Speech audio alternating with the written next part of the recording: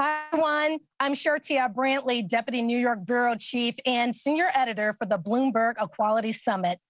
And I'm excited to discuss the findings from the Representations of Black Women in Hollywood report by the Geena Davis Institute on Gender in Media with Geena Davis, Academy Award winning actor, founder and chair of the Geena Davis Institute on Gender and Media, and Lorraine Toussaint, award winning actor and activist. Welcome, Geena and Lorraine. Thank you. Thank you. Thank you. So great to be here. It's an honor to speak with both of you. We have a lot to cover, so let's just dive in. Geena, I want to start with you. The report shows that Black women and girls comprised only 3.7% of the leads or co leads in the top 100 grossing films over the last decade. But Black women and girls comprise about 6.5% of the US population. What's behind this disparity? Right. Well, uh, yeah, it's it's it's pathetic. Uh, but um, uh, yes, yeah, so so characters overall, uh, if you count, you know, all the characters in in a movie, uh, it is we have reached. I mean, we are at pretty much parity with the percentage of the population. But then when you get down to the leads, it cuts uh, at least in half. and so, why is that? Well, I, I, think it's the same phenomenon as. Um, as all underrepresented groups. And uh, and you know, and I've made a particular uh, focus on studying uh, female characters, intersectional female characters. But um, there's far fewer uh, female lead characters uh, in film in general, and and it's been that way since the 40s. Uh, and so so we we just have a lot of progress still to make in that in that area. But um, but at least at least we have have some sort of um, progress being made in the in the worlds of the movies that are being created. Lorraine, what do you attribute to this disparity? Do you think um, big studio uh, executives uh, still think Black women are a risky bet, either in film or in television?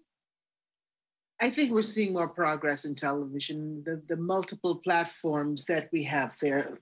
and I think in many ways, the television um, that that genre has been easier to break into and to break through those kinds of ceilings. I mean, we're really seeing um, exciting work with with female leads. I mean, if you think of the last decade with um, Shonda Rhimes and, and Ava DuVernay, and there's so many wonderful female producers and, and show creators that are now on the scene that are that are casting. I mean, just um, Bridgerton is is is is really a, a terrific shining example of where we've been trying to get for, I would say, decades, and where we finally are. When I came up in this business, we were talking about non non-traditional casting in the theater and but there was no such thing in television and film and now we're seeing that ceiling broken through with with true non-traditional casting and and in films in things like Bridgerton and and Kerry Washington's company and what Kerry has done in television. She's she's brought us forward um, so far in terms of Black women being not the lead, the desired lead, um, the strong, sexy, complicated. Oftentimes, we're cast as um, very one dimensional characters. We were maternal characters. I mean, we were sort of glorified mammies, the social worker, the teacher, the, the rather sexless and generic women. Um, but we're seeing that change. It's harder to see that in film. It's a, sl- it's a slower road in film, but I, I have to trust that we're going to be doing that. We, we, we haven't stopped fighting, so um, there's a ways to go, but we've we, we've made progress. Right. Following on that, Geena, how critical is it to have Black directors and showrunners and script writers and producers? Right. Well, it's absolutely essential. Our research has shown, uh, for example, if there's a female writer, producer, or director uh, on a project, the percentage of on-screen characters goes way up. So, uh, so, and it's and it's also, I'm sure, true for um, black directors and uh, and producers and writers, and and it makes a huge difference. You know, it's I've found that it's easier to convince people to add more characters than it is to uh, get them to add more uh, people behind the camera. That it's it's a it's a completely different pro- problem because a lot of the lack of people of representation on screen is unconscious bias, and if you can awaken them to their unconscious bias, you can make some progress. But uh, but it's uh, the the numbers for black and female and, and intersectional directors and producers is uh, the pr- progress is is you can't measure it. It's it's so glacial. So the nomination for the Academy Awards, nine actors of color have been nominated, the most diverse list ever, with Viola Davis and Andra Day picking up nominations in the actress in a leading role category. Geena, what's your take? Is this a sign of progress, or can two things be true at the same time? Black women being nominated for leading actor, you know, actress in a, in a leading role, and the lack of still a, a disparate, proportionate, low number of Black women leading in major film projects. Right. Well, I'm always uh, uh, reminding people when when they think, well, now you know the Academy has made progress. Uh, it's it's not really up to the Academy to make the change happen. They can reflect things that that are very helpful. But like uh, when uh, I remember when um, Kathryn Bigelow won the Best Director Oscar, all the press was this changes everything now. The floodgates are open. Now we're going to see that. And you know, how many years since she uh, since she won has it been? And uh, and very little progress. But but I am excited about it, and uh, and uh, I think it it shows that the you know the Academy has been working very hard on their own diversity, and bringing in um, a lot more people of color as members. And I think that is is reflected by by the nominations. Lorraine, what's your take on this? And oh, I'm sorry. And what impact do you think the Oscar hashtag Oscars so white uh, campaign from a couple of years ago, what impact that may have in what we're seeing today? I think it's made a huge impact because the the the, the voting body of the Academy that that has changed. The color of that that body has literally changed. Um, there, there are more women. There are more women of color. There are there are just people of color that are now voting, and therefore we're more likely to seek out films that aren't necessarily traditional white male Hollywood films, and so suddenly those kinds of films, those kinds of creators are on the are on the map and in, in our zeitgeist. Um, what we're also seeing is that when it comes to Geena, um, the the women that are being nominated, I do think that the the Black Lives Matter and the the social upheavalment that we've been experiencing in the last few years has has absolutely impacted this. I mean, because for example, just recently, there's now there's now a mandate that there needs to be a, a percentage of of people of color in films in order for them to actually be nominated as best films. And so I think that kind of unconscious bias that Geena was had mentioned, it, a lot of this is just about awakening people and just making them aware of their own bias and of we we we automatically go to that which is the easiest for us to go to but how to actually just just keep snapping the fingers at people, going, no, no, wake up, wake up, and stay awake, stay awake. Um, that's that's going to be the challenge, but it's slow progress, but we're making it. Now, in the rooms that both of you are in, Geena, are you hearing people reference, you know, March 13th was the anniversary of the killing of Breonna Taylor. Are you hearing uh, the social justice movement being discussed in meetings when you're talking to senior executives? Uh, you know, uh, that, it hasn't really, it hasn't really, that specifically hasn't really come up because we're talking about their productions and everything. But I, I agree with Lorraine that people have been tremendously affected by all of that, and and and we are seeing um, the reaction. And uh, it's, I think, a big problem here is is that it's not front of mind for people, uh, and the default is white male always, and so uh, you know, I'm always saying you've got to do uh, uh, an inclusion pass before you cast this thing. Do an inclusion pass where you say, who can become female, who can become person of color, who can be both, uh, who can be an older, uh, you know, disabled female person of color, uh, you know, and, and just use your imagination. I mean, it's the whole industry is based on imagination. So um, that's what we that's what we need to do. But certainly the social movements have brought much more awareness. Mm-hmm. I just want to bring out a couple of more points from the report. Um, colorism and pressure to conform to European beauty standards continues. Um, of the Black female leads in film, 19% or about one in five Black female leads had a dark skin tone, according to your report. Lorraine, why do you think colorism is still an issue in Hollywood, or is Hollywood just a microcosm for the issues we still have in society? I think it's still a microcosm for the issues that we have in society. Colorism exists in, in white communities, and as quiet as it's kept, it still exists in Black communities.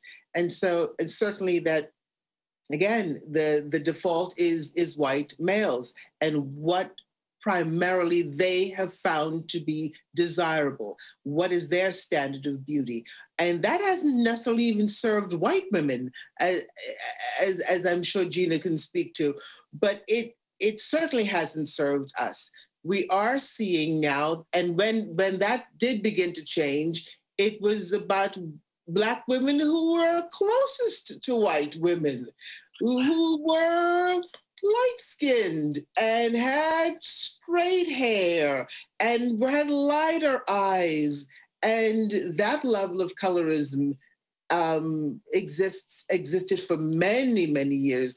I think it's really honestly only recently that we're be- beginning to see women of brown skin, dark skin, happy to be nappy black women who are now propagating the screens in sexy, vibrant, um, complex, interesting women, not just in their 20s either.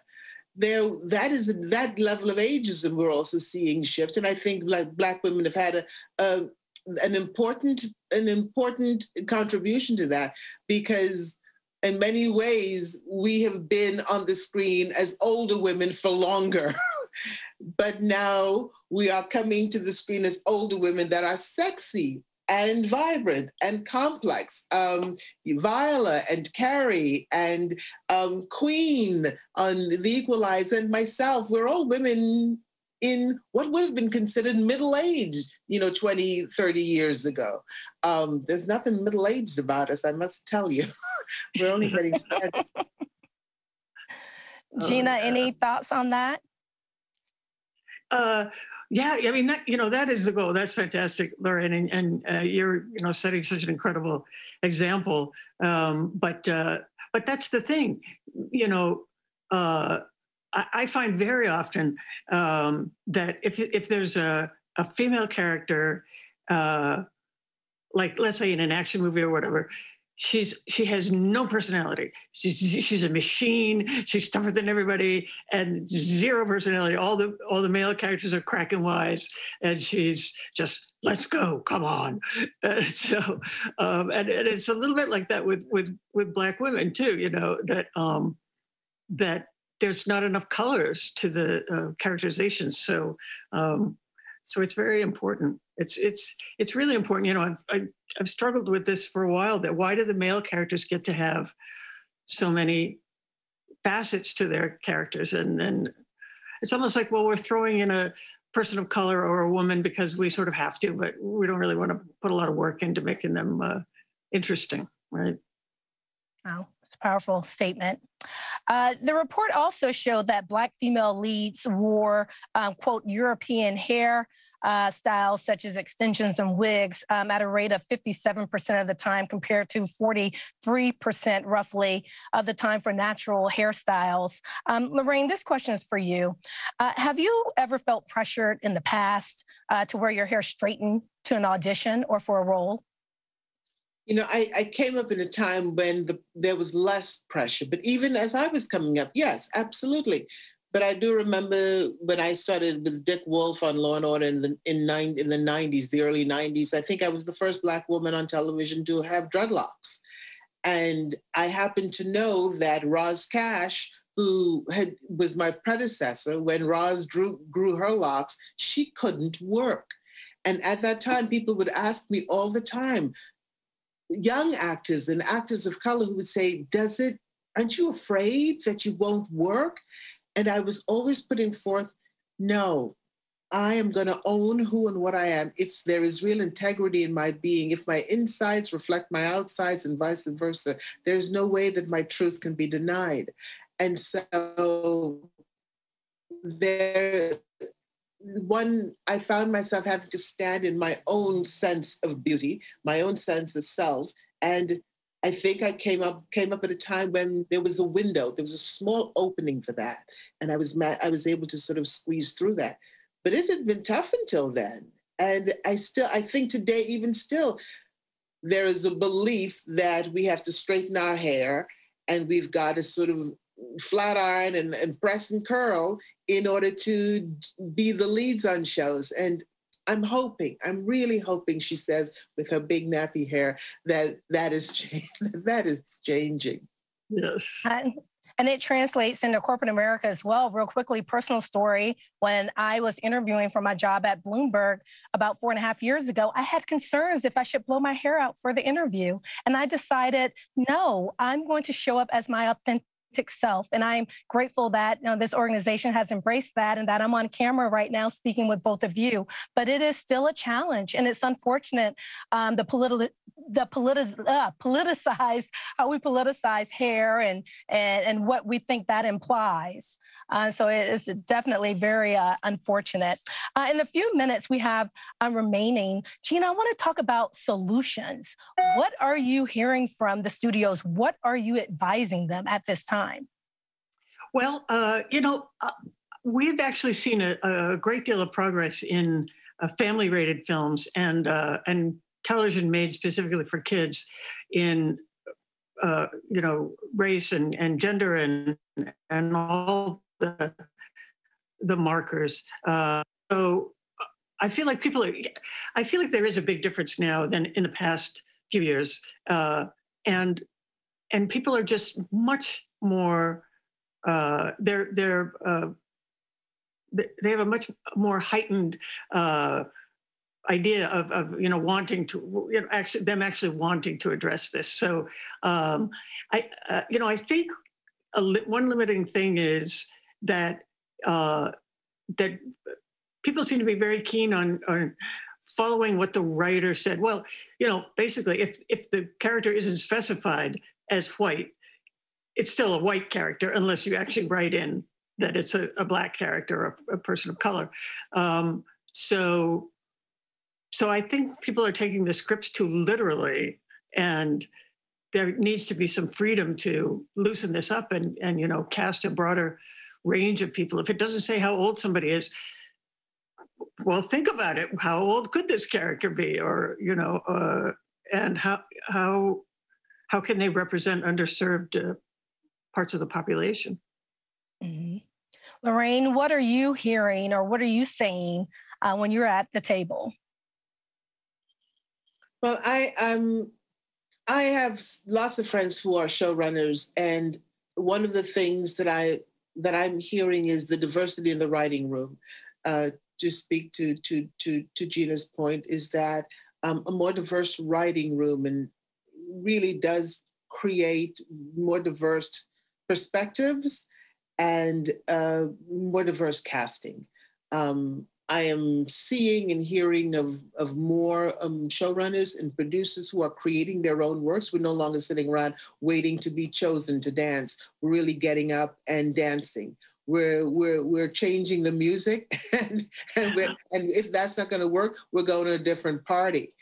And so um, I'm seeing a lot of breakout product productions. I mean, we've got the first uh, all Black producing team for Black Judas that is that that's been nominated. That's that's a big first. And I think there's a whole underground movement that's happening in that arena that may not be mainstream yet, but we've got one that's already being nominated for an Oscar. So I feel very, very hopeful. That's wonderful. That's wonderful. Mm-hmm. While I have you, congratulations on The Equalizer and mm. being renewed for season two. It's so great. Fantastic. Yes. And and you know, it's a black female lead who is, you know, over 40 and, you know, ble- kicking ass and taking names. And she's complex. She's got a she's got a, a family life. It speaks to what Geena also mentioned. You said she is very complex. She doesn't have to be all hard. She can be a mother. She can be a woman. She can be an equalizer. She can be a rescuer. She can be tormented. She can be joyous. Um, she can be the women that we all know and love and grew up with that we actually are now. So hmm. hopefully, our the meetings will reflect the marvelousness of who we are right now. Mm-hmm. And before we close, um, can you tell us a little bit about your upcoming film, Concrete Cowboy? Yeah, it's a, wonderful film set in the urban Philadelphia. It's a, a small group of bona fide cowboys from the 1800s to present day who are who have uh, a cowboy community in in urban Philadelphia. Philadelphia is one of the few towns where you can have a horse as a pet. Know, it's very you know, very few people know that. So it's not unusual to see a horse tied up on someone's stoop. So there's wonderful story with Idris Elba, Elba and, and, and about this marvelous community who's uh, trying to save the kids, get them off the streets with the love of horses. And so um, that premieres, I think, um, April 2nd. Uh, it's a great. terrific little film. That's great. Geena, in closing, we have a global audience watching this event. CEOs and C suite leaders across industries, what would you say to them when it comes to increasing their representation of Black women in their organizations? Right, right. It's it, it's global, as, as you said earlier. It's uh, it's in every uh, it's in every industry. It's in every segment of the of the population. You know what I wanted to mention to you is uh, uh, that one of you know we were talking about what's going to create a bigger change. And uh, we have this tool now which is sort of revolutionary called spell check for bias. And it can read documents. So uh, it can read scripts and it will tell you you know what is the breakdown of of who you have in this in this cast. How much time are they on screen you know how much how many lines do they have you know compared to others? And uh and we're now in the process of getting all of the studios to sign up for this. To we're doing uh, test runs for them, and um, I think once everybody has this tool in their in their own privacy and they can run run the things themselves, I, I think it could make a big difference because otherwise we're relying on people to use their own judgment to notice something. And, and you know everybody has unconscious bias so so it's tough to overcome but uh, but we're excited about that. What has been the initial response? Fantastic fantastic. Uh, we're we're basically uh, partnering with every studio in town um, to get this going. You know it's it's in the pilot phase right now so we're uh, testing it for different people. But uh, it's going very very well. It's exciting Okay, before we go, I'll start with you, Lorraine. Is there anything else you want to share with our audience before we part? Um, I'm just very hopeful. You know, we've we've come a very very long way, and certainly I've been in the business for 30 years, and uh, you know, there was when I started out, the only roles that really were available to me were were were social workers and um, um, ghetto mamas and um, basically maternal caregiving roles. And I've seen this shift. I've seen the trends shift, and I've now gone to playing, you know, witches roaming around the fields of Ireland, or and, you know, um, or you know, Orange is the New Black is one of the, that was a real game changer for diversity of women, um, transgendered women, straight women, black women, fat women, tall women. We suddenly got to see women in a different light. I think that there is a real movement and it's, it's, it's an exponential movement. It's exponentially changing. I, I feel very hopeful. We've got work to do, but we're on the right track. Geena?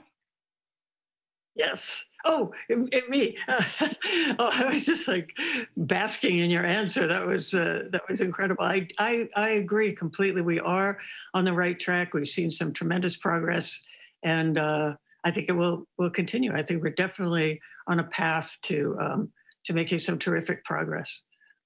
All right. Well, we must leave it there. I could talk to you two all day, but just thank you so much for carving out time to join us at the Bloomberg Equality Summit. Geena Davis and Lorraine Toussaint, thank you. Thank, thank you, you so much.